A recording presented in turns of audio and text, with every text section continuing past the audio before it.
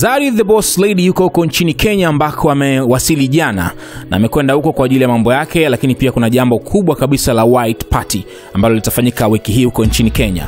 Sasa akiwa huko amesafiri pia na boyfriend wake, na hapa tayari kuna hizi video alizoziweka kwenye akaunti yake ya Snapchat zikiwaonyesha pamoja yeye na huyu boyfriend wake mpya.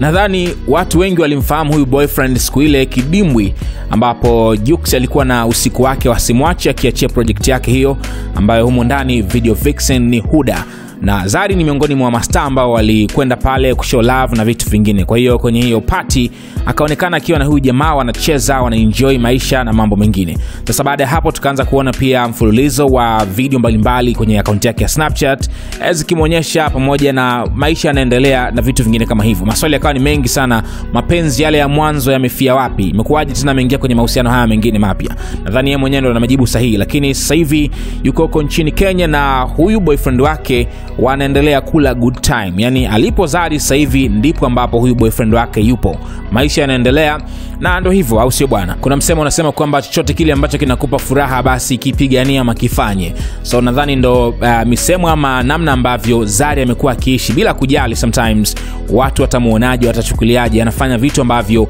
vinaifurahisha nafsi yake na maisha yake kiujumla yanaendelea kwenda sawa. Anyway, una mtazamo gani ama una nini cha kusema hapo kwenye sehemu ya comments, lakini pia nikukumbusha kutufollow kwenye mitandao ya kijamii kama Instagram, Facebook, Twitter pamoja na TikTok kwa jina moja tu la Simulizi na Sauti, na hapa YouTube make sure kwamba umesubscribe kwa taarifa nyingine kila wakati.